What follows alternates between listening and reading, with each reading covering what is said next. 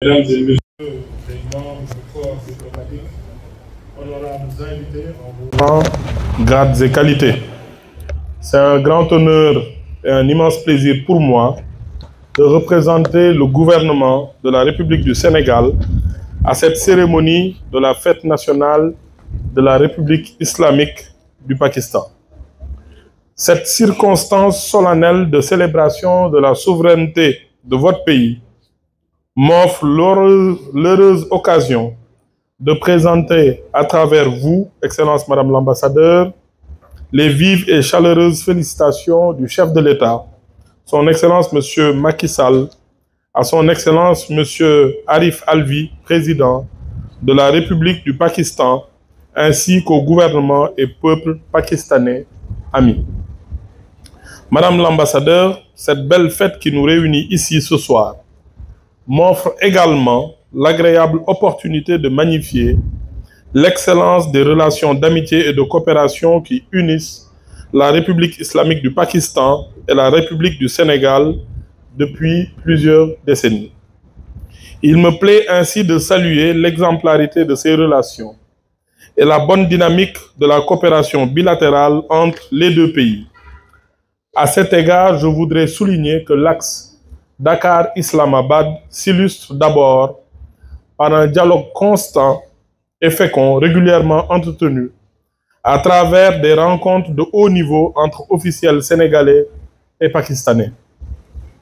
Je voudrais citer à ce propos l'entrevue bilatérale entre les ministres des Affaires étrangères des deux pays en marge de la 78e Assemblée générale des Nations unies à New York en septembre dernier et au cours de laquelle ils ont réaffirmé leur disponibilité à œuvrer au raffermissement des liens d'amitié, confiance et de coopération bénéfique qui existent si heureusement entre les deux États et entre leurs peuples respectifs. À ce titre, la tenue de la deuxième session de la commission mixte à Islamabad ou à Dakar serait assurément une opportunité pour explorer de nouveaux axes de partenariat.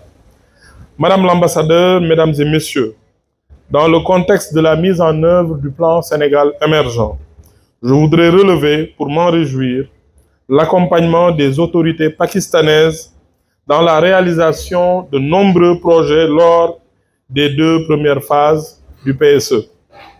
Dans ce siège, le gouvernement pakistanais a bien voulu mettre à la disposition du Sénégal une importante ligne de crédit pour la réalisation de projets prioritaires dans des secteurs clés de développement. De même, je me félicite du partenariat satisfaisant qui existe entre les deux pays dans le domaine commercial. En effet, le Pakistan demeure un important fournisseur de riz du Sénégal qui, à son tour, figure parmi ses principaux fournisseurs en cuir et en peau brute. C'est vrai, Madame le ministre, sur le riz, sur les pots. Je pense qu'on est un peu concurrent sur les mangues.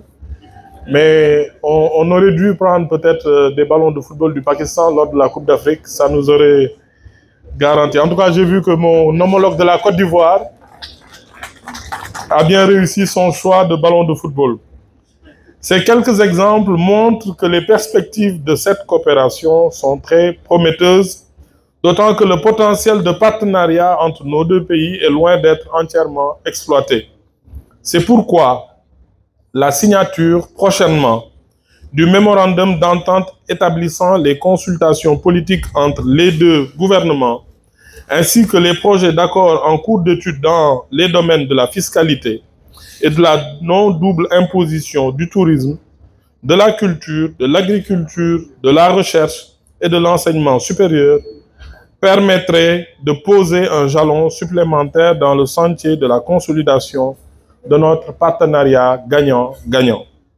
Mesdames et messieurs, face aux nombreux défis d'ordre politique, économique, social, environnemental, sécuritaire, géopolitique, auxquels le monde fait face, dans les pays du Nord comme ceux du Sud, il demeure urgent aujourd'hui plus que jamais de renforcer nos moyens de résilience pour y remédier de façon durable.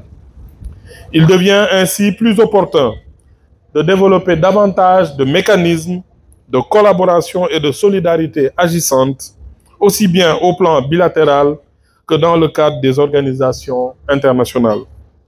À ce titre, je voudrais magnifier la belle collaboration sénégalo-pakistanaise au sein de l'Organisation de la coopération islamique OCI ou encore au niveau de l'Organisation des Nations Unies où les deux délégations des États, les délégations des deux États partagent une volonté et une approche commune de défense des causes justes dans l'intérêt de l'humanité tout entière.